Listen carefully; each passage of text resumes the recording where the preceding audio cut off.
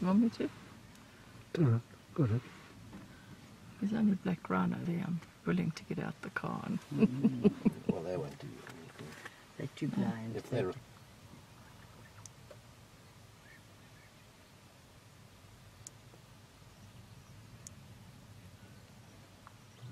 rhinos are moving a bit closer.